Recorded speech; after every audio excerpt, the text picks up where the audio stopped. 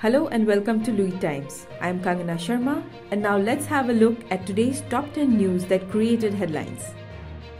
Justices Madan Lokur and A.P. Shah, former judges of Supreme Court and the Delhi High Court respectively, have invited Prime Minister Narendra Modi and Congress leader Rahul Gandhi for a public debate midway through the 2024 Lok Sabha elections. A letter addressed to the duo by Justices Lokur and Shah, as well as former editor of The Hindu N. Ram, says that the proposal is non-partisan and in the larger interest of the nation. The former judges and the journalists say that a public debate on a non-partisan and non-commercial platform would greatly benefit citizens and strengthen the democratic process.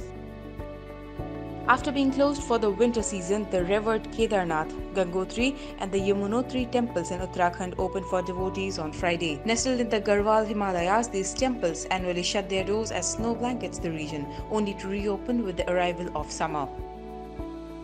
Renowned actress Vyjayanthimala and Telugu superstar Chiranjeevi were honored with Padma Awards by President Draupadi Murmu on Thursday. The prestigious ceremony, graced by Prime Minister Narendra Modi and Union Home Minister Amit Shah, was held at the Rashtrapati Bhavan in the national capital.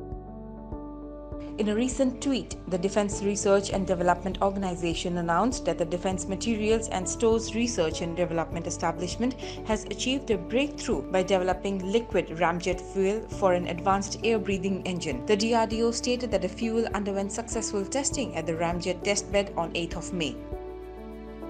In a bid to enhance ease of doing business, SEBI has proposed simplified disclosure norms for issuing non-convertible securities. Sensitive personal information of issuers in offer documents will be replaced with QR codes and web links. The public can provide feedback until 30th of May. India has exited its military from Maldives after a demand by President Mohammad Muizzu, who is more focused on strengthening ties with China. The Indian troops, accompanied by two helicopters and an aircraft, were involved in marine surveillance and medical evacuation operation on the islands. The announcement coincided with a visit by Maldivian Foreign Minister Musa Zamir to India.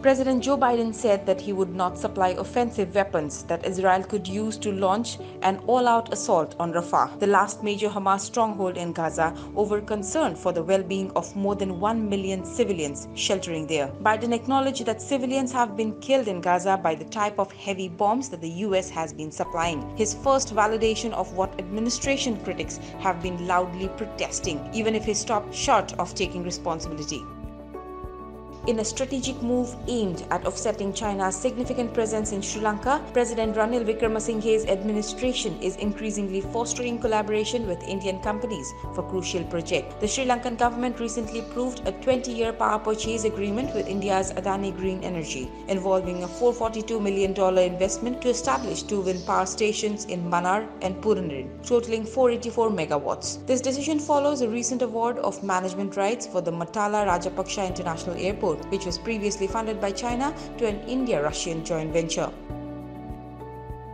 The Indian embassy in Iran confirmed that five of the Indian sailors on board of an Israeli linked vessel that was seized by Tehran were released on Thursday. It also said that the sailors had departed the country during the evening. Sharing details of the release, the Indian embassy also thanked the Iranian authorities for their close coordination with the embassy and Indian consulate in Bandar Abbas.